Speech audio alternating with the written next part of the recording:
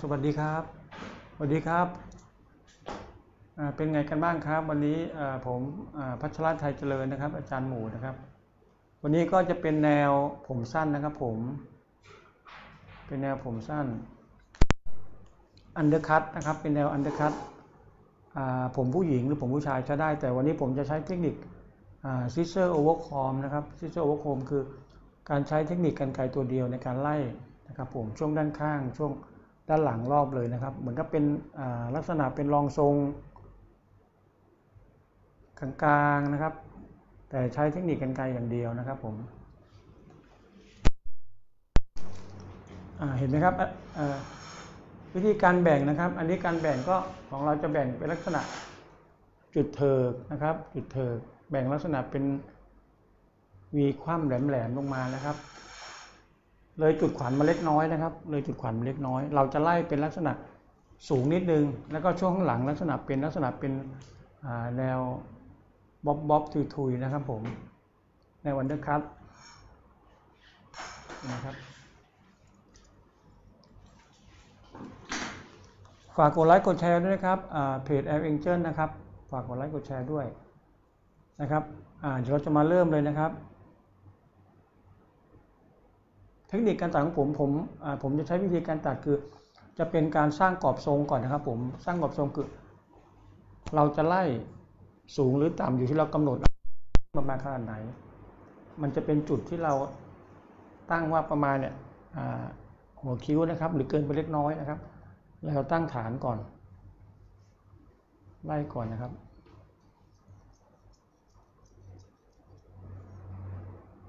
นะครับ รอบเลยนะครับ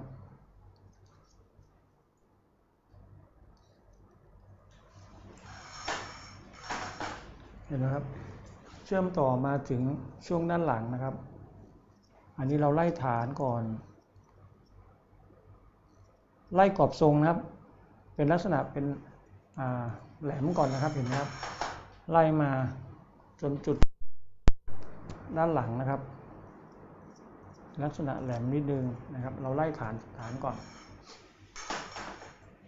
นะครับพอไล่ฐานทั้งสองด้านนะครับไล่ฐานผมก่อนนะครับ เห็นไหมครับโน้ม โค้งสำลูกศีรษะนะครับผมไล่ฐานก่อน แล้วค่อยซิเซอร์อันนี้ตัดลักษณะเป็นการกำหนดฐานฐานของ เอาประมาณไหนนะ แล้วเราค่อยมาตัดเชื่อมต่อนะให้ลักษณะแหลมนิดนึงนะครับ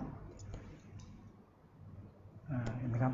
พอเสร็จแล้วนะครับ คราวนี้เราจะมาไล่นะไล่ตั้งแต่ช่วงจอนะครับ จนถึงช่วงเชื่อมกับที่ฐานที่เราตั้งไว้นะครับอ่าเลยนะครับ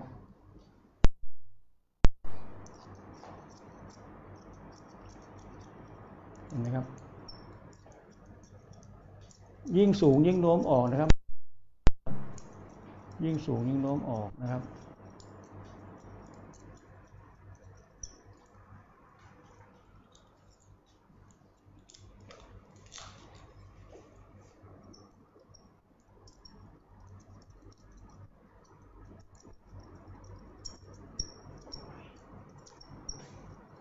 เห็นไหมครับช่วงช่วงฐานนะครับ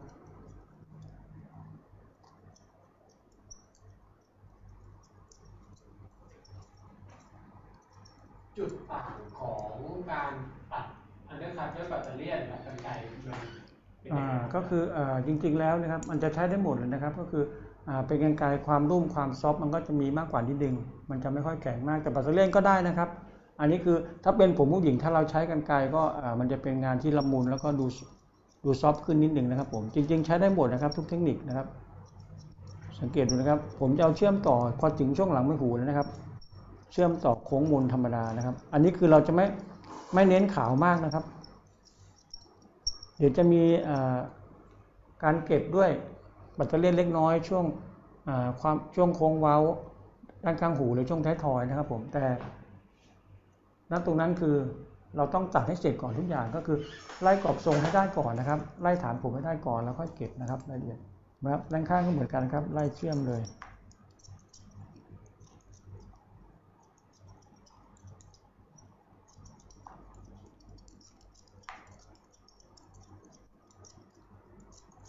สังเกตดูว่ายิ่งสูงยิ่งโน้มออกนะครับ เวลาไล่นะครับ ยิ่งสูงยิ่งโน้มออกนะครับ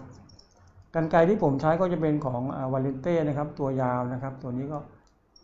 ตัดดีนะครับ ลื่นเลยนะครับตัดดีแล้วก็ลื่น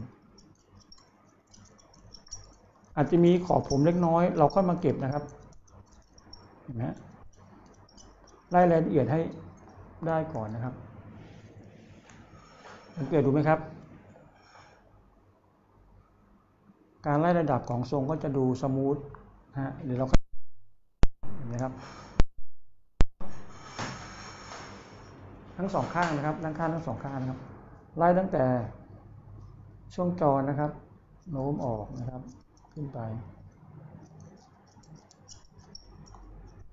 วิธีนี้เอ่อคือถ้าเรามีฐานผมแล้วนะครับ มีฐานผมหรือมีไกด์ไลน์ต่างๆ ในการตัดเนี่ยมันจะทำให้เรา รู้จุดนะครับว่าต้องตัดไปถึงตรงไหน แต่ถ้าเราไม่ได้ตั้งฐานหรือกรอบทรงก่อนบางทีเราจะตัดขึ้นไปเรื่อยๆเนี่ยเราจะไม่รู้ว่าต้องหมดที่ตรงไหนต้องหยุดที่ตรงไหนนะครับ แต่ถ้ามีฐานผมนะครับ เราก็จะกำหนดได้ว่าต้องตัดถึงจุดที่เรามาร์กไว้หรือเรากำหนดไว้นะครับเห็นไหมสังเกตดูนะครับ อาจจะมีเล็กน้อยอะเก็บนิดนึงที่ชี้มานะครับ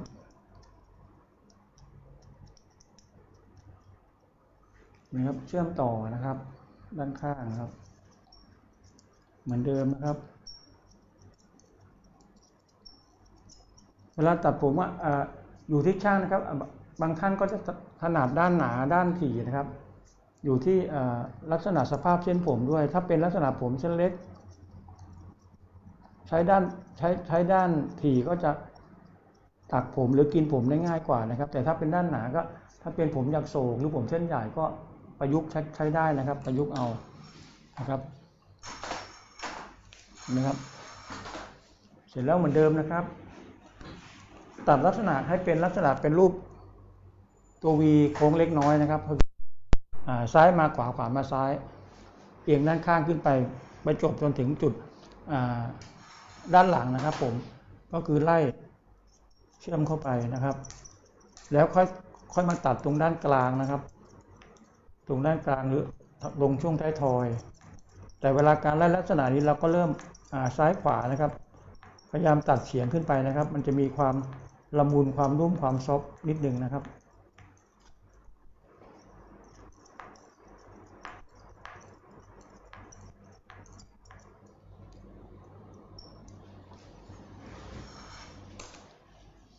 นะครับจะมีแหลมนิดนึงคราวนี้ก็เก็บได้แล้ว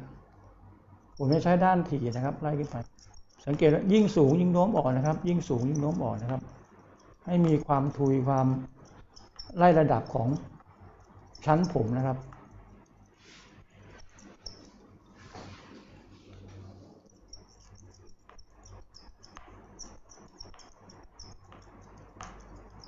สวัสดีทุกท่านนะครับ เป็นไงบ้างครับช่วงนี้นะครับ ฝากกดไลค์กดแชร์ด้วยนะครับผมอยากเทคนิคต่างๆนะครับ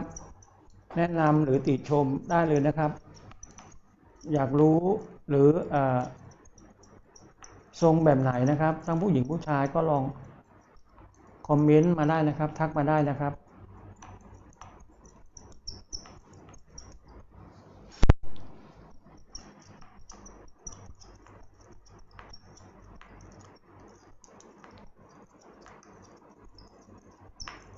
ถ้าเป็นผมจริงก็ แนบไปเลยนะครับผมแนบช่วงท้ายทอยหรือช่วงช่วงจอนะครับ แต่เป็นหัวหุ่นก็จะนิดนึงนะครับ สังเกตดูนะครับก็จะดูซอฟขึ้นนะฮะแต่ทีนี้คือเราอาจจะมาเก็บ ช่วงขอบผมนะครับ ช่วงขอบผมก็อาจจะเก็บได้หมดนะครับ บางท่านก็จะใช้ซึ่ง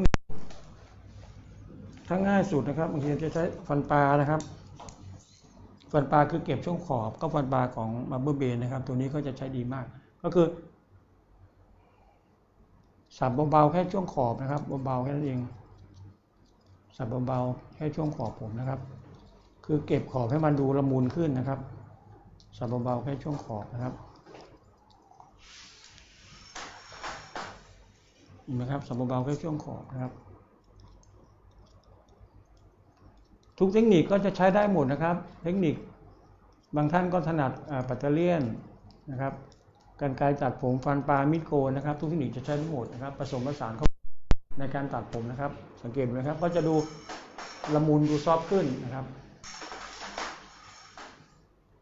ด้านนี้เราจะไม่ใช้ฟันปลานะครับจะไม่ใช้กรรไกรนะครับ ก็เหมือนกันนะครับ บางท่านก็จะถนัด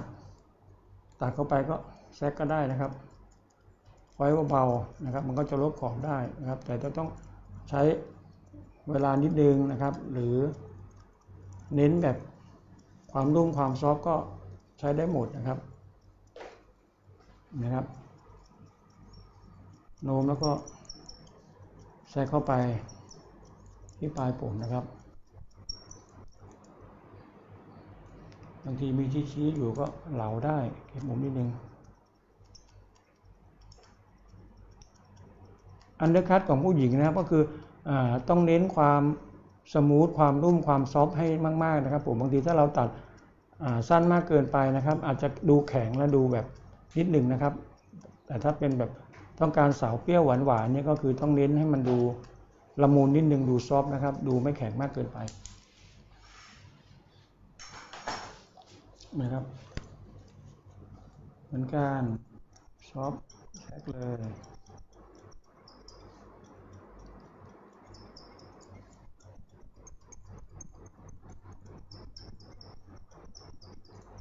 อันนี้จะเป็นพอยเข้าไปที่ช่วงปลายผมให้มันดูเบาๆขึ้นนะครับใช้วก็ไปที่ปลายผมให้ดูเบาๆขึ้น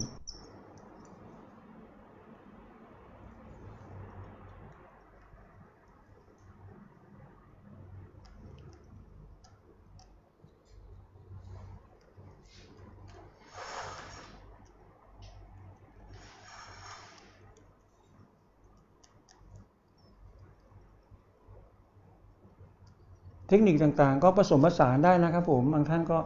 ได้หมดนะครับ เทคนิคกรรไกรก็จะประยุกต์ได้หมดนะครับ จะใช้เทคนิคไหนก็ได้นะครับ ผสมเข้าไป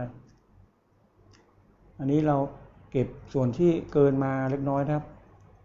ที่เกินมาที่ชี้เห็นไหมครับ สังเกตดูไหมครับว่าจะดู soft ขึ้นดูละมุนแต่ช่วงด้านข้างหูเราอาจจะใช้ปัตเตอร์เลียนนะครับ ผมใช้ปัตเตอร์เลียนของบาร์เบอร์เบตัว เมดนะครับ ใช้เก็บนิดหนึ่งนะครับ ตัวเบสนะครับ อาจจะเก็บเล็กๆน้อยๆช่วงตีนผมช่วงช่วงต้นคอนะครับนไหมครับอันนี้คือไล่กันไกลอย่างเดียวก็จะได้แล้วนะครับนไหมฮะครับอ่าคราวนี้อ่าส่วนด้านบนนะครับผมส่วนด้านบนก็จะเป็นลักษณะเป็นกึ่งกึ่งบ๊อบนะฮะอ่าเราจะปล่อยมา อ่า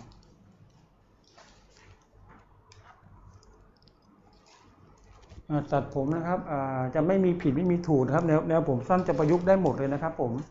จะประยุกต์ได้หมดนะครับ จะประยุกต์หรือ เพิ่มเติมใส่ในส่วนต่างๆเข้าไปได้นะครับ บางทีเราก็ต้องประยุกต์ดูนะครับ เพราะบางครั้งบางครั้งถ้าเป็นหัวแบนๆนะฮะถ้าถ้าเราไปแบ่งลักษณะเป็นเกือกม้านะครับผมลักษณะความทูช่วงเนี้ยการเก็บมันอาจจะดูยากนิดนึง แต่ถ้าเป็นผมคนไทยเนี่ย ผสมเข้าไปได้นะครับ คือลักษณะแบ่งลักษณะให้เลยจุด เลยจุดขวานลงมาเล็กน้อยนะครับผมมันก็จะทำให้มีเนื้อผมช่วงด้านหลังนะครับ เราค่อยมาเก็บต่างๆนะครับ เก็บงานต่างๆนะ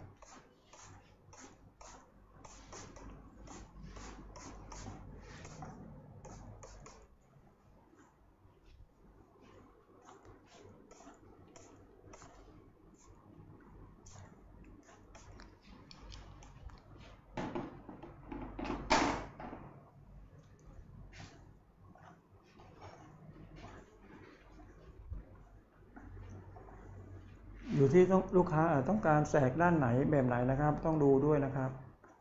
อ่าเห็นไหมอันนี้เราจะมาเริ่ม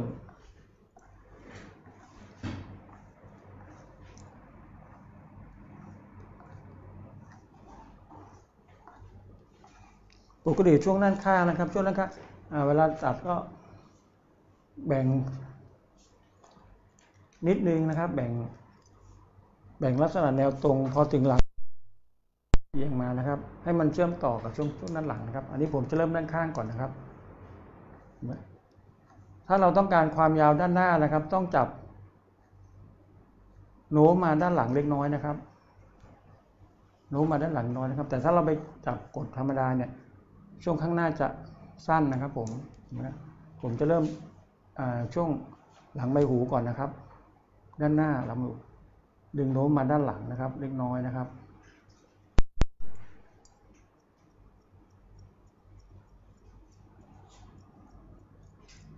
อันนี้ผมจะตัดเป็นรอยคัตติ้งนะครับแซกเลยนะครับ มันลักษณะเป็นเทลงเล็กน้อยนะครับ พอถึงช่วงด้านหลังก็ หลังไม้หูก็จับดึงโน้มลงธรรมดานะครับ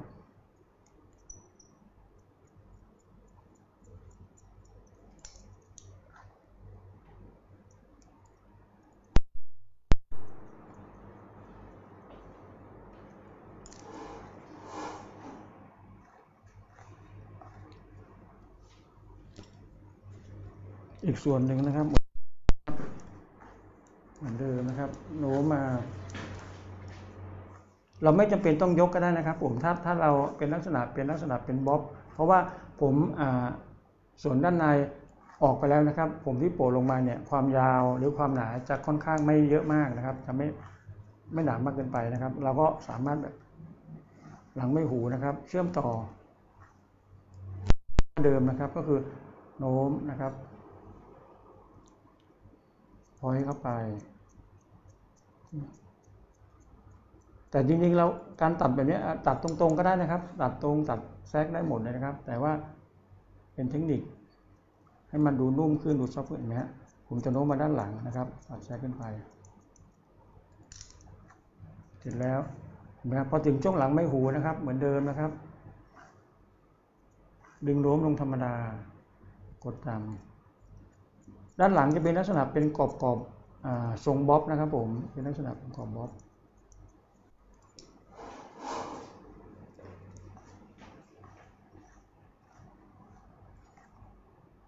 สังเกตดูไหมครับว่าที่เราโน้มมาถ้ามันจะลักษณะออกเทเล็กน้อย เพราะเพราะว่าช่วงด้านข้างนะครับ ถ้าเราตัดตรงๆก็จะดูทื่อนิดนึงนะครับ โน้มมานะครับ แล้วก็ปล่อยเข้าไปเบาๆ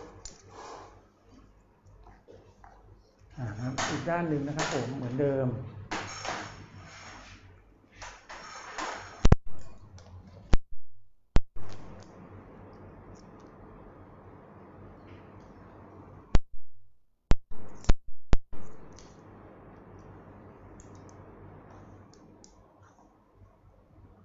อันนี้จะประยุกต์ได้นะครับผมตัดแนวอของผมสุภาพบุรุษผู้ชาย เราก็ประยุกต์เอานะครับนะครับเว ลาตัดผมจะเน้นหลังใบหูนะครับ ผมเน้นแต่ผมมันจะเป็นผมส่วนด้านหน้าด้านข้างนะครับ ก็โน้มมานะครับไกด์ไลน์อยู่ที่เราจะตัดประมาณไหน เราจะทิ่มมาที่จมูกปากคางนะครับ แล้วแต่นะครับ อยู่ที่ความยาวที่เรากำหนดนะครับ โน้มมาครับ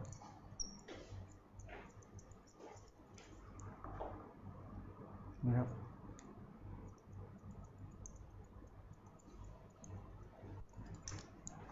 เส ร็จแล้วช่วงนั่งข้างนะช่วงเชื่อมต่อด้านหลังก็กดธรรมดานะครับเองมาเล็กน้อยนะครับ ช่วงหลังไม่หู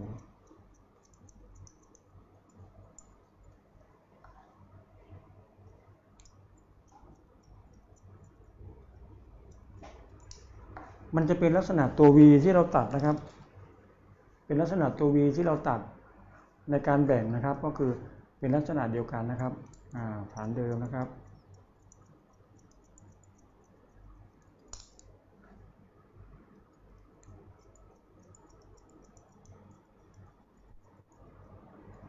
ถ้าเป็นแนวผมสั้นๆ บางครั้งอ่า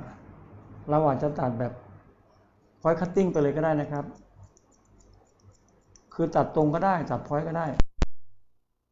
ขนาดของช่างนะครับสังเกตสังเกตไหมครับก็คือจะแหลมเล็กน้อยแล้วเห็นไหมฮะจะลักษณะเป็นรูป V นะครับอ่าเราเราก็มาเก็บขอบมุมนิดนึงนะครับ มุมด้านขวานะครับ มุมด้านซ้ายนะครับ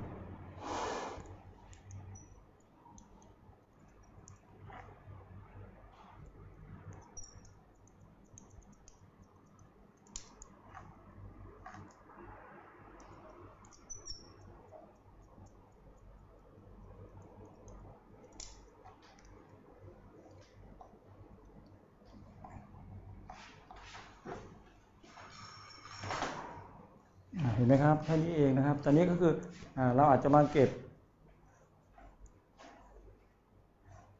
เค้กผมนะครับ ก็คืออาจจะมาเก็บช่วงปลาย ทั้งสองทั้งสองข้างนะครับ เก็บช่วงขอบมุมให้ชัดเจนขึ้นนะครับ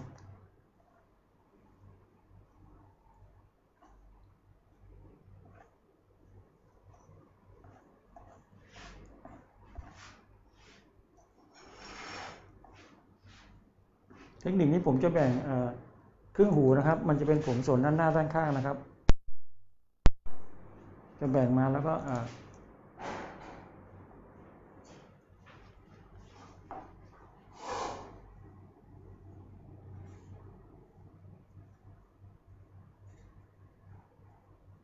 ตั้งฉากนะครับ แล้วก็แซกช่วงปลายเบาๆแค่นั้นเองนะครับ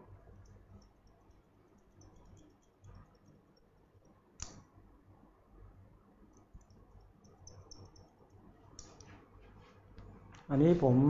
เป็นผมหน้าม้าที่ทรงก่อนนะครับ เป็นผมหน้าม้าที่ตัดเล็มนิดหนึ่งครับ เก็บขอบมุมนิดหน่อยนะครับ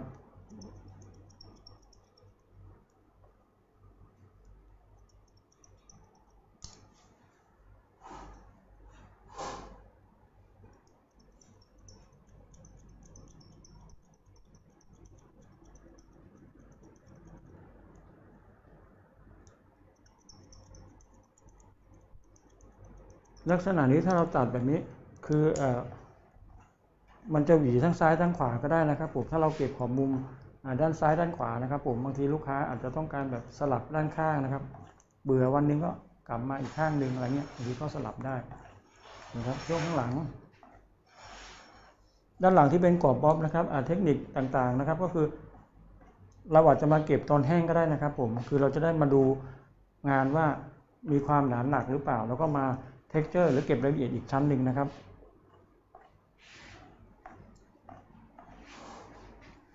เดี๋ยวผมจะเป่านะครับ เป่าให้ดูก่อนว่าลักษณะนี้เวลาเสร็จแล้วเป็นยังไง แล้วค่อยมาเก็บรายละเอียดต่าง ๆ นะครับผมฝากกดไลค์กดแชร์ด้วยนะครับ ตอนนี้ก็คือ ครับผมฝากกดไลค์กดแชร์ด้วยนะครับ ตอนนี้ก็คืออผมมาสอนที่ Avenger นะครับ เพชรเกษม43ทับหนึ่งนะครับผมบัมเบอร์เบนนะครับผมก็คือตอนนี้อสอนวันจันทร์ถึงวันพฤหัสนะครับจันทร์ถึงวันพฤหัส สนใจก็ทักสอบถามข้อมูลได้ครับผม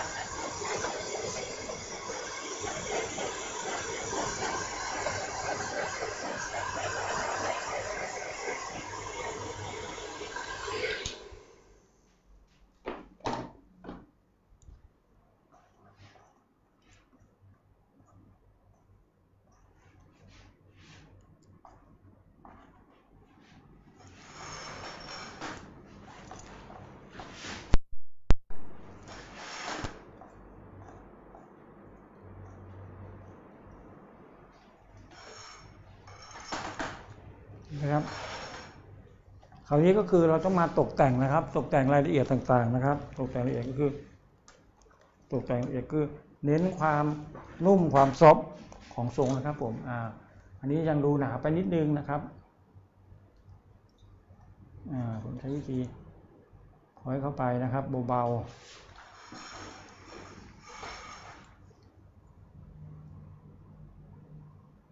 พอยเข้าไปเบาๆนะครับ ตัวนี้กันไกรยาวก็จะตัดได้ลึกนะครับ ผมลึกแล้วก็ทำงานง่ายนะครับ ให้มันดูนุ่มดูซอฟต์นะครับผม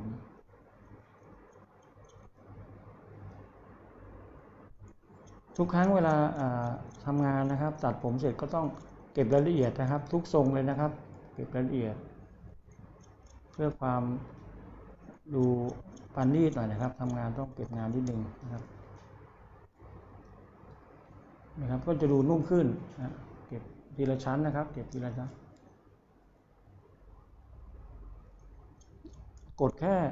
ต่ำๆพอนะครับ ไล่ต่ำๆพอ เก็บแค่ชั้นผม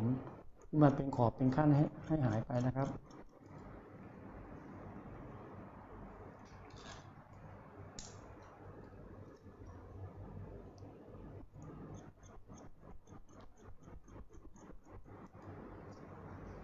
วันนี้เงียบเลยพี่แยมมีทักมาบ้างไหมวันนี้ อ่าด้านข้างเหรอครับผม สวัสดีครับทุกคนนะครับ สวัสดีนะครับ ทักทายมาได้ครับวันนี้ครับผม วันศุกร์ก็จะคึกคักหน่อยนะครับ ร้านเสริมสวยทั่วไปนะครับ ศุกร์เสาร์อาทิตย์นะครับ เห็นไหมครับ แล้วก็เก็บเบาๆนะครับ เก็บเบาๆ นะเก็บช่วงเบาๆด้านข้างก่อนนะ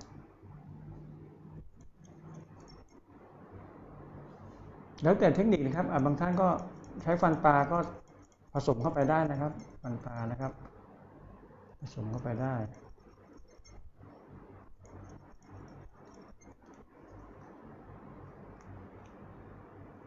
ต้องดูความนุ่มความซอฟนะครับดู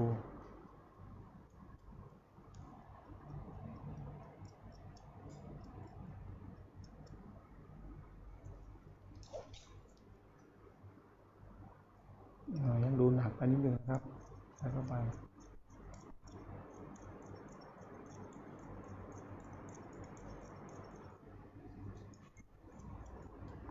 การตัดแบบนี้ก็คือเอเราจะใช้ปัตเตอร์เลียนไถก็ได้นะครับ ถ้าเป็นบางท่านไม่ไล่กันไกลก็ใช้ปัตเตอร์เลียนไถได้นะครับ ไล่เบอร์สองเบอร์สามอะไรเงี้ยเปิดด้านข้างด้านหลังนะครับ แต่อันนี้ไล่เทคนิคให้ดูว่าการตัดก็มีการมีหลากหลายนะครับ ผมอุปกรณ์ต่างๆ เราสามารถประยุกต์ใช้ได้หมดนะครับ เราจะใช้กันไกรใช้อะไรตัดก็คือให้เห็นว่ามีหลากหลายในการทำงานนะครับ นี่ครับช่วงด้านหลังก็เหมือนเดิมนะครับนี่ไง จะดูค่อนข้างสโลปทุยแล้วแต่เราต้องลดเนื้อผม ช่วงขอบขั้นให้ดูเบาขึ้นซอฟขึ้นนะครับ ช่วงด้านหลังนะครับ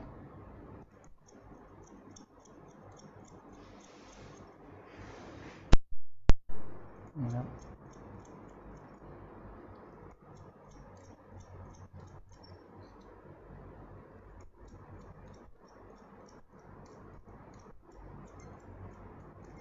ชั้นผมด้านในก็จะดูเบาขึ้นนะครับผมเก็บขอบช่วงท้ายทอยช่วงด้านล่าง แต่ด้านในอีก อาจจะชั้นหนึ่งเห็นไหมอาจจะเก็บให้ดูเบาขึ้นหรือซอฟขึ้นอีก อันนี้ผมใช้เทคนิครูดผมนะครับ เหลาผม เหลาผมให้ดูปลายผิวขึ้นเบาขึ้นนะครับ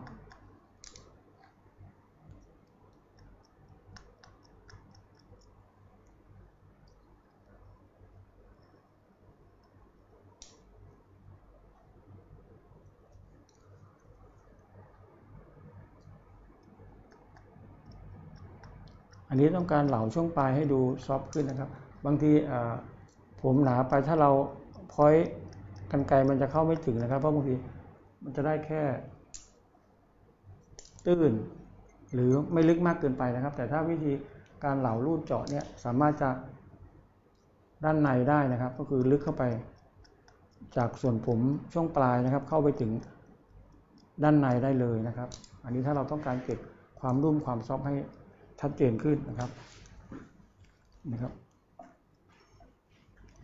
เสร็จแล้วเราอาจจะเก็บช่วงปลายเล็กน้อยนะครับ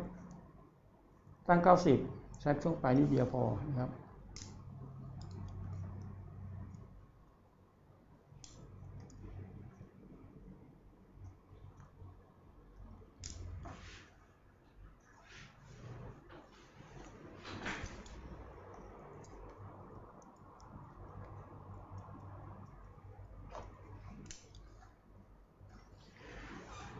เห็นครับ อันนี้ก็จะ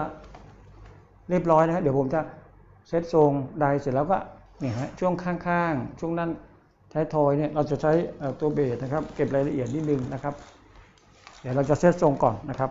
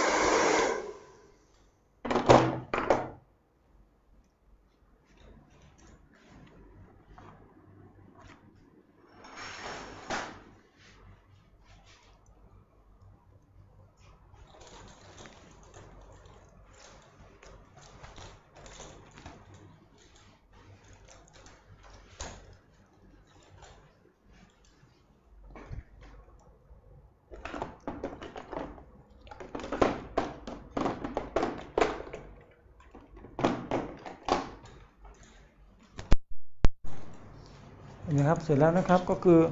คราวนี้ก็นิดหน่อยเองนะครับ เก็บรายละเอียดแล้วก็ใช้แว็กซ์นิดนึงนะครับอาจจะเนี่ยตัวนี้นะครับ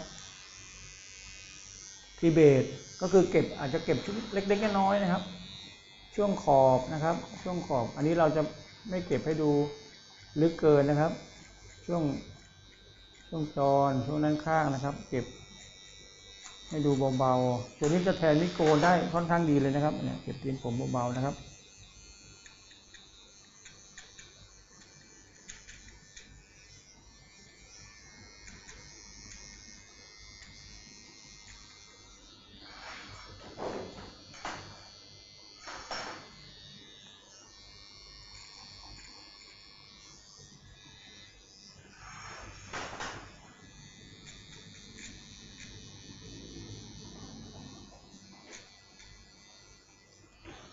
เกตดูไหมครับ อ่า อันนี้ เสร็จแล้ว คราวนี้ก็เก็บอีกนิดหน่อยนะครับ เก็บรายละเอียดอีกนิดนึงครับ ช่วงขอบมุมช่วงเดี๋ยวเราก็จะใช้แว็กจับเลยนะครับเดี๋ยวอาจจะมีนิดหน่อยก็เก็บไป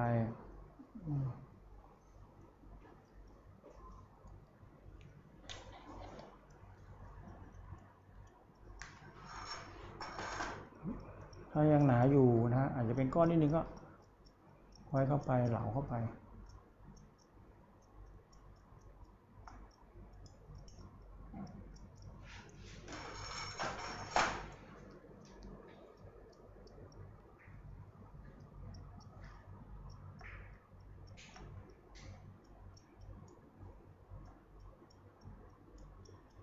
ช่วงพวกนี้ก็จะ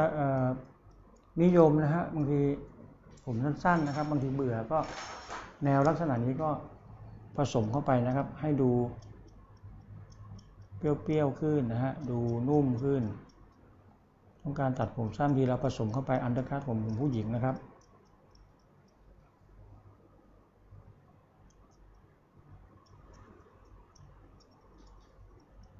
เห็นไหมครับแล้วใช้แว็กก็เข้าทรงแล้ว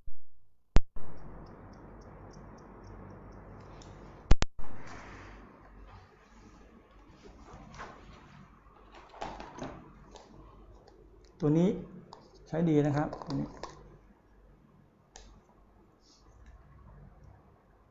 จะเป็นปอมเมดนะครับ ผมใช้เบาๆเองนะครับสับเบาๆเอง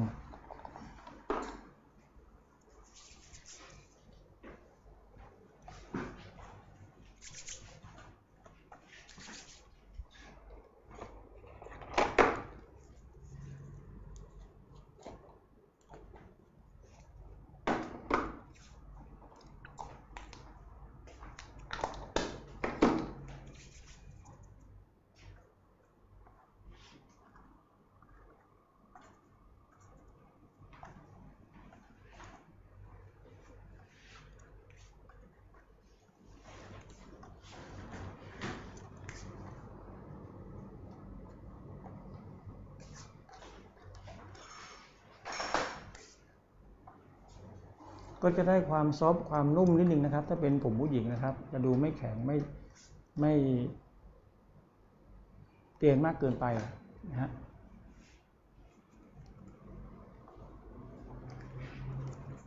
เป็นไงบ้างครับ อันนี้ก็ไปประยุกต์ใช้ได้นะครับ อันนี้จะเป็นซิเซอร์โอเวอร์คมนะครับไล่กันไกลอย่างเดียวนะครับ แล้วก็เก็บ เก็บช่วงปลายนิดเดียวนะครับ เก็บช่วงุกไปลายนิดเดียวนะครับ ขอบคุณนะครับที่ติดตามชมนะครับ ฝากกดไลค์กดแชร์ด้วยนะครับ ผม